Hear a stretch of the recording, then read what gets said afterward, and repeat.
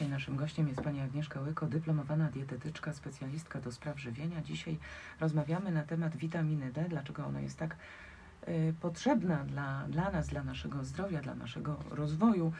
No i właśnie, dlaczego? Właściwie my chyba sobie nawet tak do końca nie zdajemy sprawy, jak w ogóle wszystkie witaminy, jakie mają znaczenie dla naszego organizmu. I w tym na przykład witamina D.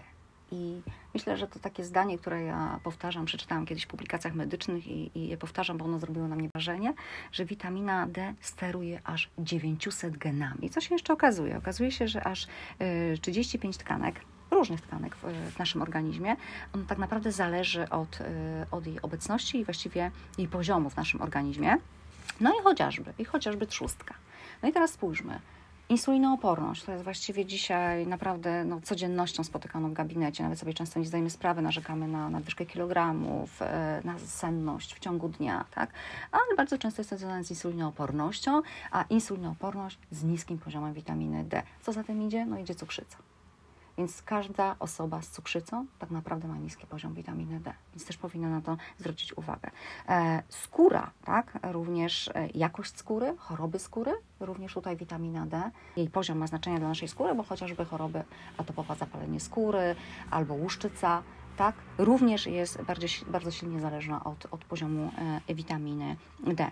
Krwinki, więc ktoś, jeżeli choruje na anemię, jak najszybciej powinien sobie zbadać poziom witaminy D i również odpowiednio podnieść jej poziom. Układ odpornościowy. No i tutaj, czy to będą infekcje, tak. czy to będą wirusy, czy to będą grzyby, czy to będą bakterie. I tutaj chociażby niedawno mieliśmy COVID, tak?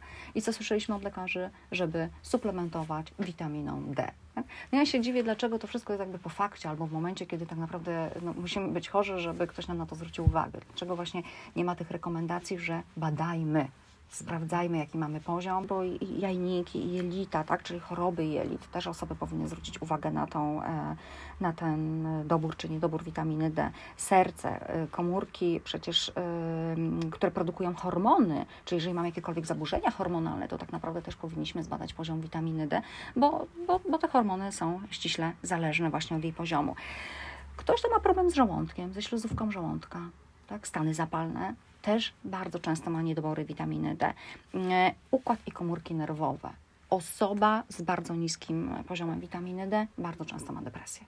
I też na to nikt nie zwraca uwagi. Taka osoba nie jest świadoma, że powinna zbadać i wyrównać poziom witaminy D. Ale chciałam tutaj też zaznaczyć, że witamina D ma duże znaczenie w chorobach zapalnych, w chorobach autoimmunizacyjnych, czyli tak naprawdę mm, ma wpływ na hamowanie reakcji zapalnych. Tych chorób autoimizacyjnych mamy mnóstwo, bo chociażby choroby tarczycy chociażby Hashimoto, które no, nie chcę powiedzieć, że jest modne, tylko tak naprawdę jest bardzo często e, wykrywalne. Zażywanie tej witaminy wpływa na poprawę właśnie tej, tej samotolerancji układu odpornościowego, tak? Czyli niweluje jakby te stany zapalne. Choroba atomizacyjna jest pewnego rodzaju patologią. Organizm po prostu zaczyna własne komórki niszczyć z niewiadomych przyczyn. Tak wytwarza te stany zapalne. Czy to będzie RZS, czyli reumatoidalne zapalenie stawów, czy to będzie stwardnienie rozsiane, czy to będzie właśnie, tak wspomniałam, Hashimoto, czy to będą choroby jelit, e, to może być choroba krona, może być wzradzające zapalenie jelita grubego, mogą być stany zapalne oczu, to może być cukrzyca typu 1, typu 2, o której wspomniałam z tą insulinoopornością. Tak jak mówiłam, łuszczyca, może być e, atopowe zapalenie skóry, może być toczeń. Ale też chciałabym zwrócić uwagę, że właściwy poziom witaminy D obniża zachorowalność na raka też y, wykazano w badaniach zależność niskiej, niskiego poziomu witaminy D właśnie i chorób nowotworowych, ale to jest właśnie związane ze stanami zapalnymi, tak? no bo e, przyczyną nowotworów są e, stany zapalne. No i tutaj to, co wcześniej powiedziałam, że ta otyłość, czyli jeżeli osoba ma nadwyżkę kilogramów, nadwagę, y, otyłość, ma problem, żeby zredukować tą masę ciała, oczywiście tak, może mieć też... różne diety, uważa, że tak, tak. No, nie wiem, jest nawet kierowana przez e, specjalistę, ale jednak ta e, masa się nie zmniejsza, ta tak. waga. I, I wtedy pani proponuje badania. Tak, i na, to na już... poziom witaminy D w, w organizmie. W organizmie, tak. Osoba, która przychodzi do mnie już musi taki pakiet badań wykonać e, żebym mogła przystąpić w ogóle do analizy, jaki jest problem i, i, i z czego po prostu wychodzę i jak mogę pomóc tej osobie. Więc to, powiem szczerze, ta otyłość, nadwyżka kilogramów jest związana z niedoborami witaminy D bardzo często i przeprowadzono badania e, na dzieciach, że właśnie nadwaga mm, u dzieci, niedobór witaminy D powoduje również nadwagę u dzieci i to, że one mają po prostu trudności z redukcją masy ciała. I tak jest, bo ja się z tym spotykam w gabinecie, czyli właściwie te wszystkie choroby autonomizacyjne, które wymieniłam, ta nadwyżka kilogramów, e, te osoby, które się zgłaszają, mają naprawdę bardzo duży niedobór witaminy D, łykają sobie tą 2000, ale nawet nie są świadome, że tak naprawdę te 2000 to jest za, za mało. mało. Naszym gościem jest dzisiaj pani Agnieszka Łyko, dyplomowana dietetyczka, specjalistka do spraw żywienia, a rozmawiamy o witaminie D i o tym, że jest ona potrzebna dla naszego zdrowia. Tłumaczy nam Pani, e, dlaczego e, powinniśmy dbać o to, żeby witamina D była u nas w domu, ale czy ona jest tylko w domu potrzebna? No, nie tylko w domu, bo, bo rzeczywiście źródła witaminy D są i naturalne, i nienaturalne. Także w domu możemy mieć oczywiście suplement, w domu możemy mieć produkty spożywcze, ale możemy również dostarczać naszemu organizmowi witaminę D poprzez promieniowanie UVB, e, czyli właściwie nasza skóra syntezuje, jak się wystawimy na słońce, to e, syntezuje tą witaminę D, a potem oczywiście dzięki różnym procesom e, chemicznym, które zachodzą, biochemicznym w naszym organizmie, no, przekształcana jest do tej formy właściwej. Więc my ją również możemy mieć w domu na talerzu, możemy mieć w formie suplementów, ale możemy ją również czerpać z natury, czyli ze słońca. No dobrze, ale nawet jeżeli mamy ją na talerzu, to i tak sięgamy po suplementy. Więc e, teraz prosimy o taką e, informację, jak powinniśmy równoważyć to, co na talerzu, z tym, co ampułce. No to, co na talerzu, to jest naprawdę bardzo mała zawartość witaminy D, tego, co potrzebujemy na co dzień, tej wartości, tej ilości. Dlatego, że tak naprawdę w e, pożywieniu takim codziennym to właściwie ryby morskie zawierają najwięcej witaminy D. Mm, węgorz. Właściwie w 100 gramach węgorza można powiedzieć, że 1000, około 1100, 1200 jednostek, czyli takiej właściwie połowa takiego zapotrzebowania podstawowego, dobowego witaminy D, czyli jakbyśmy chcieli takie 2000 jednostek przyjąć, to byśmy musieli 200 gramów węgorza na dobę mhm. zjadać, e, albo o, na przykład łososia, tak? Bardzo często gdzieś tam łosoś gości w naszych, e, w naszych lodówkach, na naszych talerzach, w związku z tym trzeba było gdzieś tak zjeść około 400-500 500 gramów, e, no, albo na przykład mamy w jajkach, no ale trzeba byłoby zjeść około 50 jajek mm -hmm.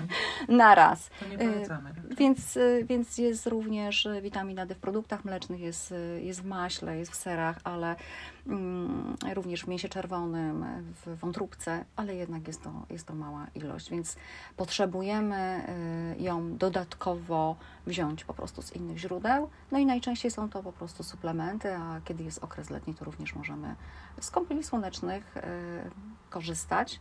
No ale, no ale, no niestety w naszych czasach teraz, zwłaszcza kiedy mamy problem z tą naszą dziurą ozonową, musimy się też chronić, w związku z tym e, no tutaj też jest, no dosyć bym powiedziała, duży problem, no to chronimy się, no lekarze biją na alarm, zwłaszcza onkolodzy, E, żebyśmy się filtrami smarowali, no ale jeżeli zabezpieczymy się filtrami, to automatycznie już ta witamina D nie wchłania się. Mhm. Dlatego też chcemy dzisiaj Państwu podpowiedzieć, by latem też suplementować witaminę D, tylko pytanie w jakich ilościach? E, więc e, jeżeli chodzi o rekomendacje, to, to ja może powiem i zalecenia. No mówi się, że tak naprawdę tej witaminy D mm, powinniśmy ją suplementować od września do kwietnia. Że są te promieniowanie słoneczne w naszym klimacie, jest e, od maja, maj, czerwiec, lipiec, sierpień powinniśmy się wystawiać na słońce około 15-20 minut dziennie, najlepiej między 10 a 15 to, to tą podstawową dawkę jesteśmy w stanie e, uchwycić, e, tak, syntezować w naszym organizmie. Natomiast prawda jest zupełnie inna i to widzę w moim gabinecie. Kiedy przychodzą pacjenci po okresie letnim, okazuje się, że mają bardzo znikomą zawartość witaminy D. I często są to osoby, które tak naprawdę przyjeżdżają z jakichś wakacji, bardzo mocno opalone, albo osoby nawet, które mm, pracują gdzieś, załóżmy na dworze, w ogrodnictwie, w rolnictwie. Widać, że są opalone, ale poziom na przykład witaminy D mimo wszystko jest niski, rzędu 20 y, nanogramów na mililitr albo, albo 30. Myślę, że to jest y, to, to często bywa niewystarczająca ilość, w zależności od tego, jakie mamy mm, choroby chociażby, tak?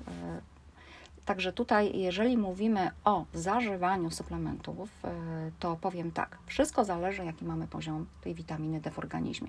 Więc ja jestem zwolenniczką i oczywiście zachęcam i nakłaniam, żeby sobie taki poziom witaminy D zbadać. To, co mnie ciekawi i dziwi, dlaczego nie ma w ogóle takich zaleceń, takich rekomendacji, żeby tą witaminę D badać. Ja myślę, że to jest podyktowane też ceną, więc myślę, że dlatego lekarze nie zlecają. E, natomiast jest tak ważna dla organizmu, że uważam, że, że jest to dość istotne. Natomiast poziom w organizmie szacuje się, że powinien być około od 30 e, tych e, nanogramów na mililitr do 100. Takie są rekomendacje ale to też mnie bardzo dziwi, bo tak jest w Polsce, tak jest w Hiszpanii. Natomiast w innych krajach, tak jak przyjmuję pacjentów z Niemiec, przyjmuję pacjentów z, czy z Anglii, Anglii, Irlandii, ze Stanów Zjednoczonych, e, ze Szwecji, Norwegii, więc wszędzie jest ta norma od 50 do 150. Więc tutaj nie rozumiem, dlaczego my u nas jest zupełnie inny zakres.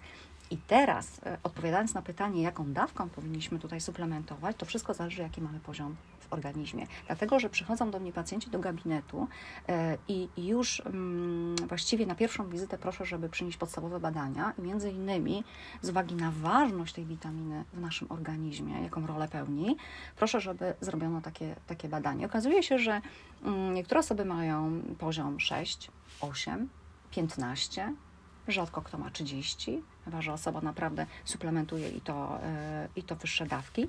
I wtedy, kiedy obserwuję taki duży niedobór, no to, to zaczynam od wyższych dawek. Czasami nawet, w zależności też od masy ciała, yy, czasami jest to 10 tysięcy na dobę, a nie tak jak zrekomendowane 2000. Ale pamiętajmy o tym, że dawka 2000 nanogramów na mililitr to jest tylko dawka podtrzymująca. Więc jeżeli mamy niedobór duży, to, to po prostu trzeba ten organizm z tego dołka wyciągnąć po to, ażeby potem y, podtrzymywać tą dawką 2000. W związku z tym, czy to jest okres letni, czy nie, ja bym tutaj na pewno zachęcała do tego, żeby zbadać sobie, jaki mamy wyjściowy poziom tej witaminy D.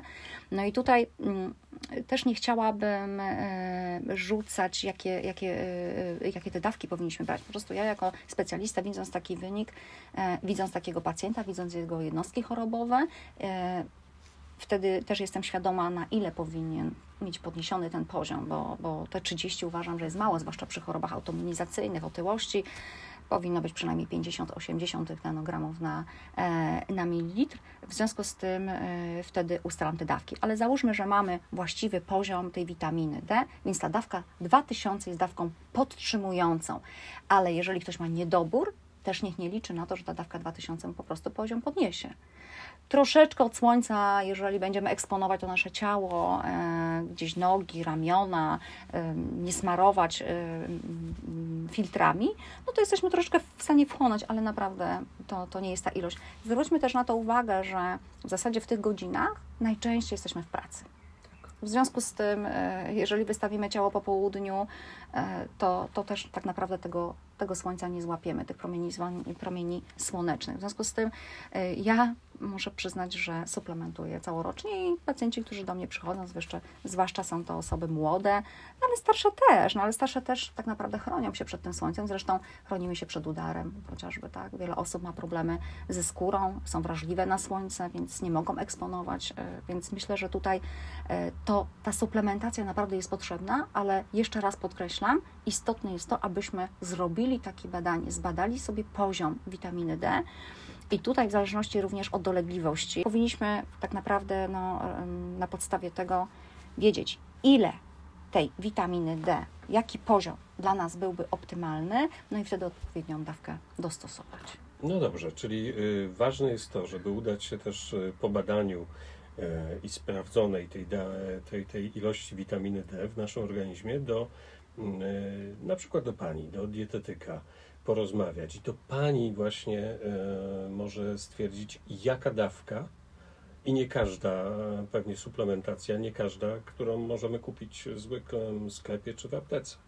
Ja bym powiedziała, że tutaj właściwie specjalista, bo, Mhm. bo też bym tutaj kierowała na pewno się do lekarza, do dietetyka. Zazwyczaj idą osoby, które, które czują potrzeby, mają jakiś problem z odżywianiem, e, ale też z złym samopoczuciem, bo nasze złe samopoczucie chociażby, czy różne jednostki chorobowe, no właściwie znikąd się nie biorą. No biorą się ze stresu, biorą się z niewłaściwych nawyków żywieniowych, których często nie jesteśmy świadomi, że właśnie odżywianie ma tak ogromny wpływ na nasze zdrowie i samopoczucie, więc tutaj lekarz specjalista e, na pewno, na pewno powinien zwrócić uwagę na, na tą witaminę D, no i też na nadawkę, bo, bo jeżeli jest to osoba, która ma na przykład, e, jest osobą nowotworową, a ma nowotwór, albo, mm, albo kobieta ma osteoporozę, no to wtedy lekarz nawet często zabezpiecza czy zastrzykami, czy po prostu kroplami, mm, ale już w formie, w formie leku. W związku z tym lek możemy e, mm, kupić wówczas, kiedy mamy receptę od lekarza i to są dość wysokie dawki.